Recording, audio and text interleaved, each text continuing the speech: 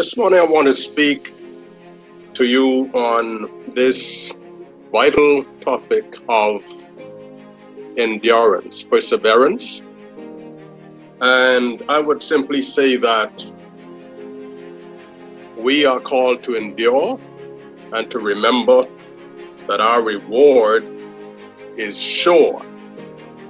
It, it's sure, it's guaranteed in Christ.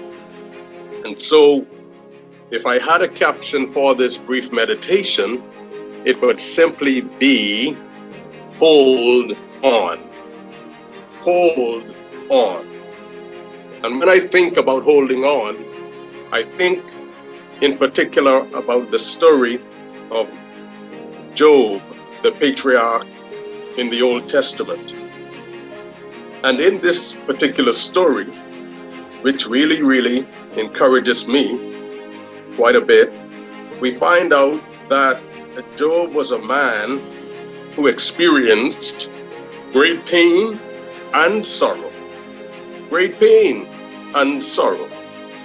And when I compare some of the things that I would have considered are the most, I mean, painful experiences of my life, okay?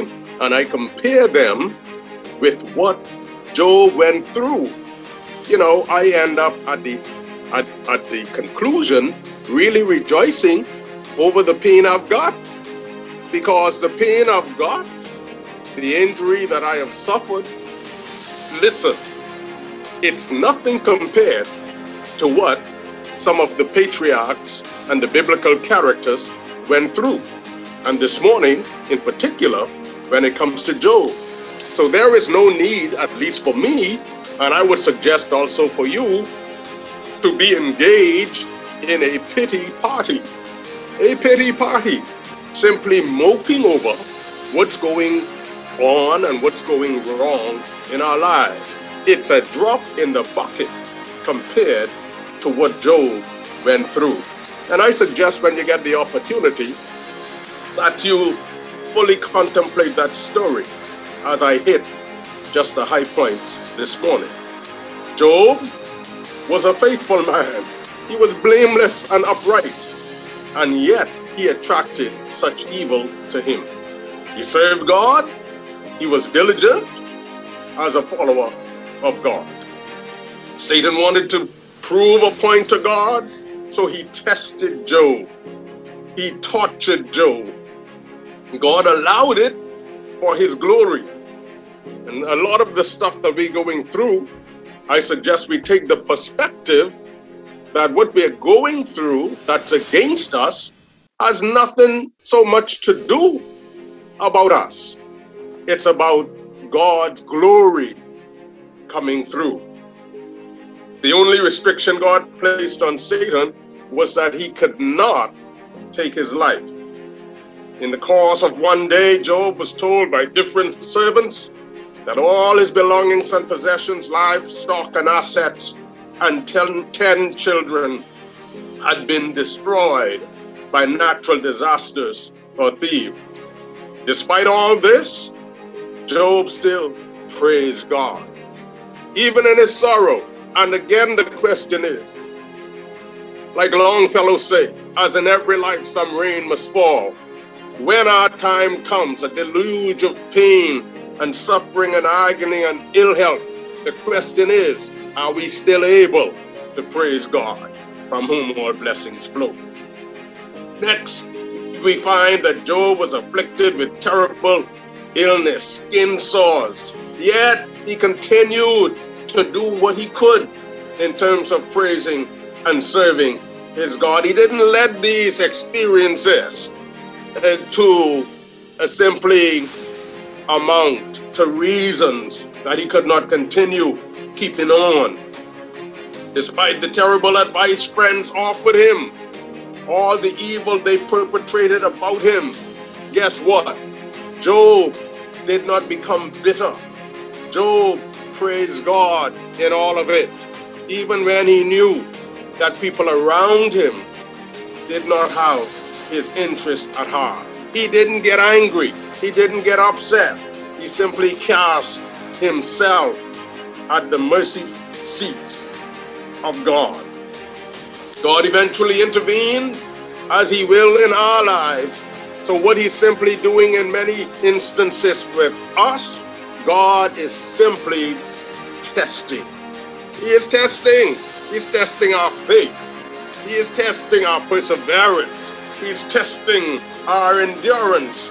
He is building up in all of that characters, not just for time, but characters that will be ready for eternity. Yes, which is amazing further to me when we consider all that was perpetrated against Job by evildoers around him. Guess what? Even when Job knew and saw through those who were around him coming on as if they were friends and supporters, when in fact they were simply just trying to destroy Job. Job knew all of that. Job could have simply tried to take vengeance out on them, or he could have simply acted with revenge. But instead, guess what Job did? Job blessed his friends, his so called friends, I should say. And Job asked God to have mercy on them. Yes, as the Apostle Paul says, when uh, we are in situations, uh, uh, the target of malice, the, the brunt of ill motives and intentions, uh, Paul says that we should heap up coals of love. Uh, love our enemies. Pray for them that despitefully use us for God's glory. God had mercy on Job, and when Job passed the test, Job restored his health and all his possessions, granting him twice as much as he had in the past. More children. Uh, we may say, well, you know, God, hold that one. Uh, you know, we got enough or we had enough. But no, no, no. Children, children are a heritage of the Lord. Yes.